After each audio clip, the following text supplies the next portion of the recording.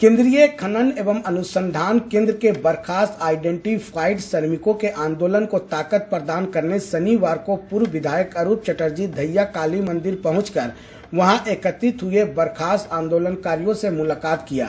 बाद में पूर्व विधायक अरूप चटर्जी ने बताया कि मजदूरों की समस्या और मांगों के समर्थन में उपायुक्त से मिलकर प्रबंधन की हट धार्मिकता से अवगत कराया जाएगा।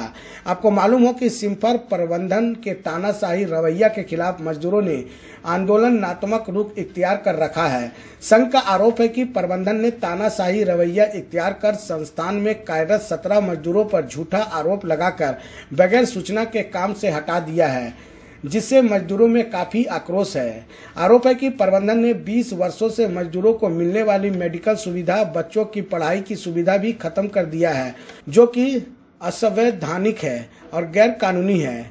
धैया स्थित काली मंदिर में मंटू कांत मंडल, शांत मंडल, संतोष मंडल, गौतम वीड अशोक मंडल, कुसमी देवी सुमित सहित सारे सिम्फर के बर्खास्त आइडेंटिफाइड कर्मचारी उपस्थित थे, जिन्होंने मासस के पूर्व विधायक अरूप चटर्जी तथा मासस नेता वीरू आनंद को अपनी दयनीय स्थिति से अवगत कराया तथा कागजात सौंपा। इन तमाम लोगों का समस्या सुना और कुछ लोगों को जो हटा दिया गया। पहला तो हटाने इतने वर्षों के बाद इमीडिएटली विदाउट नोटिस आप हटा नहीं सकते। सेकेंड है जो कोई भी स्किल्ड कर्मचारी को आप अनस्किल्ड नहीं कर सकते ये कानून के विरुद्ध में है।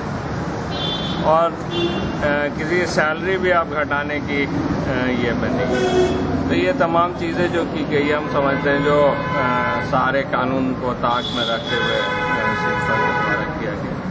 हम लोग इसके विरुद्ध में गोलबंद होकर लड़ाई लड़ेंगे। मैंने सबसे पहले कहा, माननीय मुख्यमंत्री महोदय व डी के नाम से आवेदन करें और हम लोगों की कोशिश रहेगी कि डायरेक्टर सिंपल से बात करें। अगर नहीं होती है तो फिर हम लोग आगे का आंदोलन का रास्ता अपनाएँगे। सत्रह लोगों को बर्खास्त की गई और बाकी लोगों की सारे की सैलरी घटा दी गई। जो भी फैसिलिटीज़ मिलता था वो हटा दिया